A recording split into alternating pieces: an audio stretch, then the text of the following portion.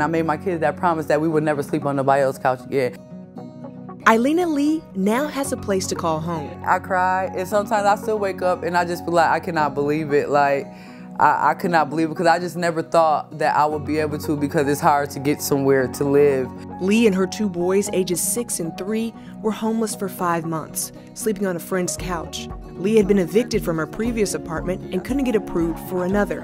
I was asking for just people just to point me in the right direction. Like I didn't want nobody to do the work for me. I was willing to put in the footwork, do whatever I had to do. I just wanted somebody to point me in the right direction. She was told about United Housing Connections, was given an advisor, and went through their program to get herself back on track.